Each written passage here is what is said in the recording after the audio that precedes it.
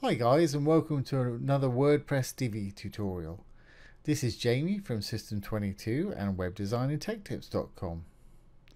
Well in our last video we showed you how to install WordPress, download the Divi theme and set your home page. In this tutorial today we're going to build this full width slider.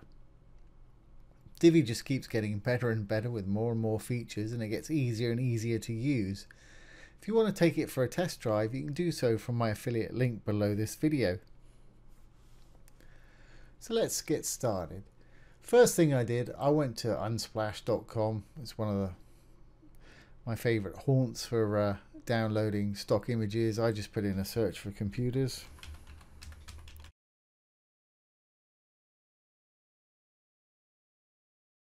and then went ahead and downloaded some images for my slider here. Simple as that. Okay, so let's go back to the website. First thing I want to do is go and create a new page. Let's go to our dashboard, or we could just actually go up to new and go to page.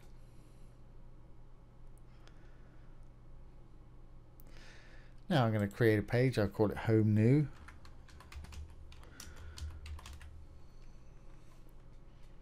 I'm going to publish it. Now I've given it a name. Hit the publish button. There it is published. I'm going to use the Divi builder. Now yesterday we used a little pre-made template plate just to set the home page. Today we're going to build from scratch. So I'm going to say start building.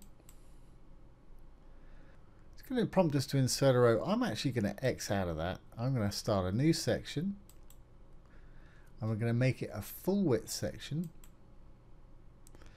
and I'm going to use a full width slider down the bottom here. And as you can see it's already put something in here.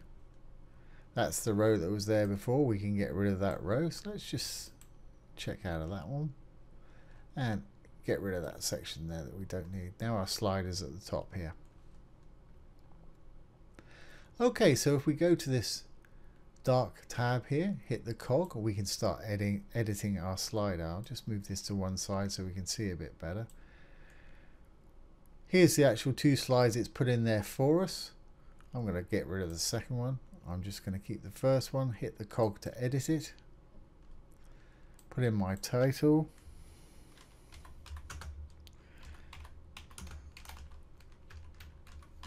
Whatever you want. I'm not going to change the text there. I really haven't got anything to say. I'm going to change the text on the button to learn more.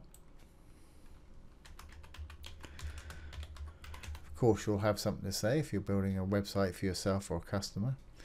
Now we want to go down the background and put in one of the images that we wanted. So I'm going to go to background. Let's go over to image. Add an image. And you can simply drag one of your images that you want to use over to your media library. There it is right there. And let's simply use that one. It's got a check mark on it. We can go ahead and upload. If you want to do a bit of SEO for your site the alt text a lot of people really you're supposed to put in a description of your image but a lot of people put in keywords for whatever the topic of their site is. So you can do that there to help your SEO just a little bit. So I'm going to go ahead and upload the image. And there we have it. We've got our image in the background there which is absolutely fantastic. But can't really read that text there. So there's a couple of ways that we can fix that we can go to the design and we can use an overlay. Use a background overlay. Just hit yes. You see that's made it a bit darker. If I select black then it's made it completely black. And we can go to our slider and just pull it down to where you can see the amount of photo that you want. But the text remains legible. That's one way of doing it. Another way to do it if we turn that back off again, if we go back to our content, go to our background, we've given it a, a background image. We can also give it a background color. So just click on the color. I'll, I'll add that black. If we go up to our image icon again and hit blend, you can do all kind of creative things with it. You can multiply. That takes it all the way down there. Color burn. Difference. You can play around with it and get some amazing effects. But um, what I've got going on here, if I just put it back to multiply, which is one that I use a lot, you want to go up to your color again, click on your color, click on the actual color box here. Right hand slide is the opacity and we can do what we did when it had that when we used the overlay setting. So I'll take it down like that. You can still see the image but you can also see the content. You can read that writing nice and legibly. Now if we go back down to our click on the image icon, go back down to our blend modes, you can play with some of these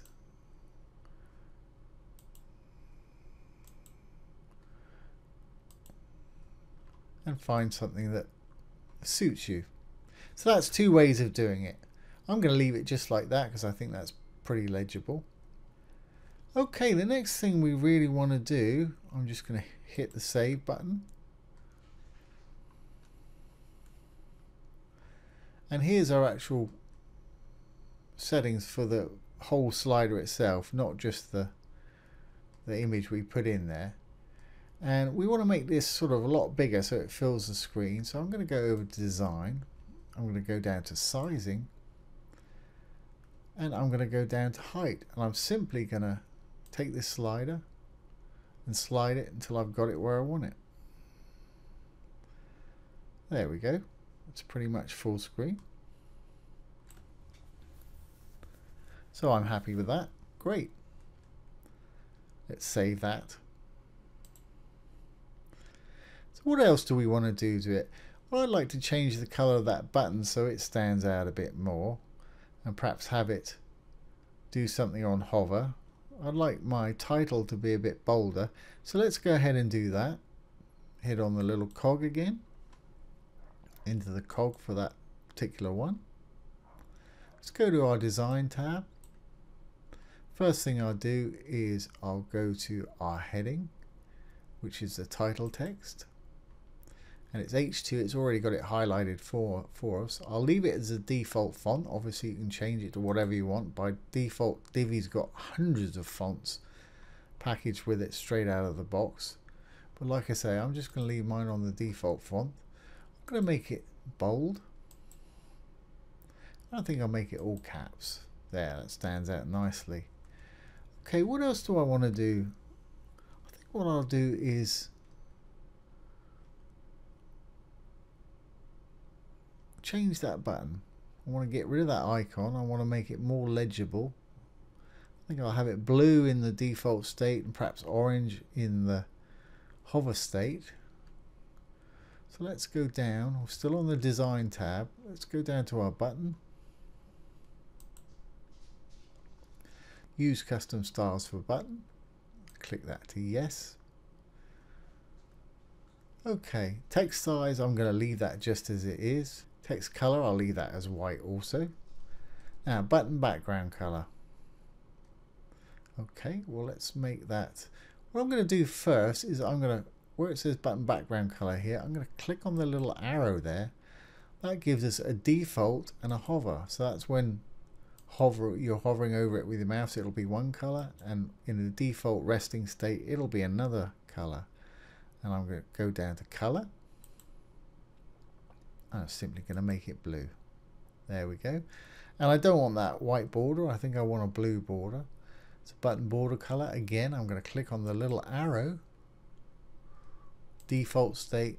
I want the border to be blue also. That's fine. Now in the hover state, I'm going to make the border orange. And do the same thing with the hover state for the background color. Hover state, click on the color, choose the color you want. There we go. That's doing what I want. And when I hover over it there, that little icon appears for some reason. Let's make sure that our default colors blue, that's fine.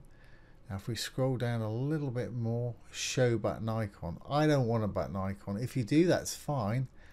Um, you can, you've got hundreds of icons, ET icons to choose from here. You can choose the icon color and the placement. And you can only show it on hover for a button.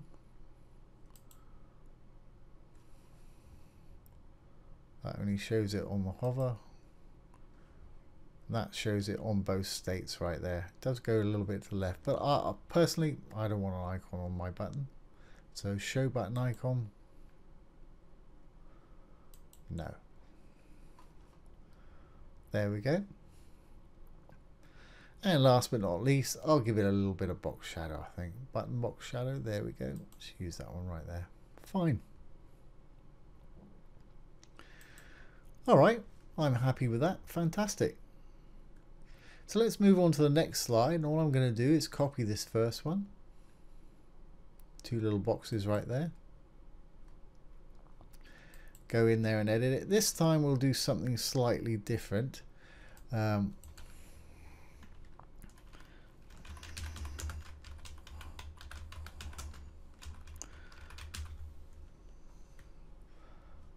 again I'll leave that content and the button text exactly as they are but we want to change out our background image. So let's get rid of that one. Add a new one. Doesn't matter which one. That's fine. Actually, you can read that pretty well. Let's go to the color and make it a little darker. Perhaps use a dark blue or something like that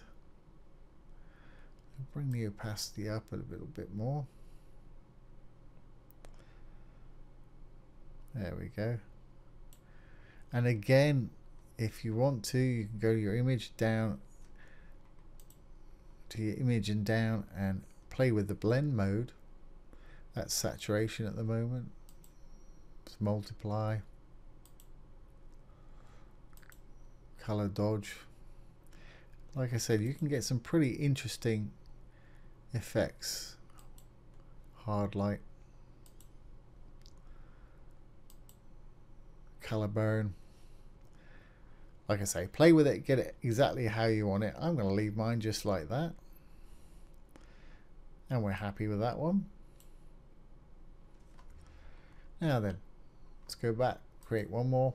This time we'll create a little background for our we'll leave the slide nice and light color. We'll just create a little background for the text there, which is really easy.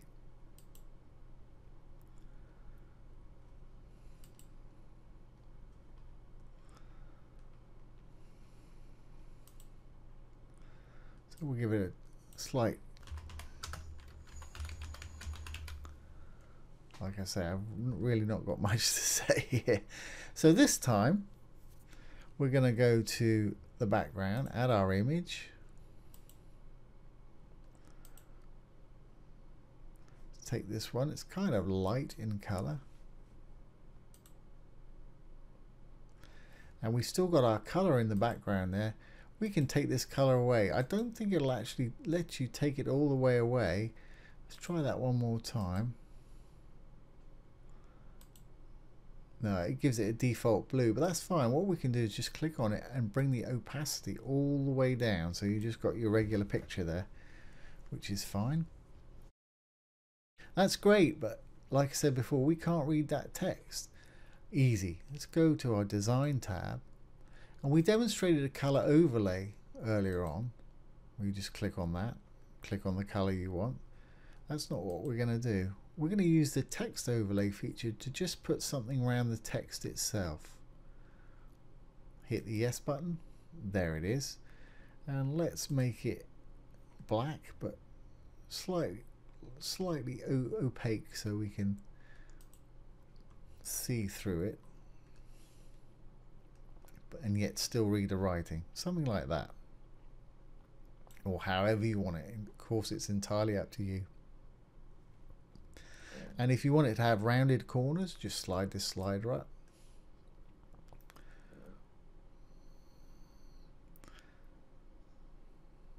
And you can go from a few little slightly rounded corners all the way up to fully rounded corners. So that's pretty much it with our slide. I'm happy with that. We've got three slides there. The only thing we want to do now is work on the animation settings. So let's go to our design. Go down to animation.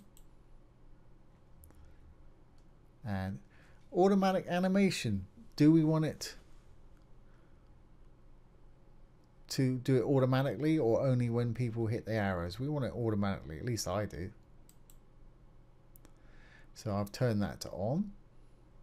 7,000 milliseconds, which will be 7 seconds. I'm going to do mine 3, three seconds, 3,000, just so we can see it roll around quickly. Whoops, not 30,000.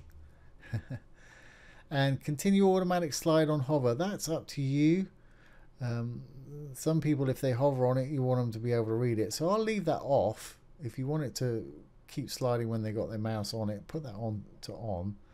So let's just see what we've got here. Let's just save that. So it should slide every three seconds. 1,000, 2,000, 3,000, 1,000, 2,000, 3,000. There we go. We got three pretty different looking slides there. Really easy to do. Another great feature of the, the Divi theme. So we just need to save. Hit the little purple button. Hit save. Now we've got our check mark. We can exit the visual builder. And here's our full width slider. There we have it. Like I say, those slides are rolling a bit quick, but I didn't want you staring at it for seven seconds just waiting for the next one to come, but you get the idea. Want it slow it down, just go down to animation and put in the time that you want. So there you have it. I hope you've enjoyed that. If you have, please give it a thumbs up, share, comment, and subscribe to our YouTube channel. If you're interested in web development, take a look down below. We've got some great free courses down there, as well as some premium courses with some huge discounts for our YouTube subscribers. So do take a look. Once again, this has been Jamie from System22 and WebDesignAndTechTips.com. Thanks for watching. Have a great day.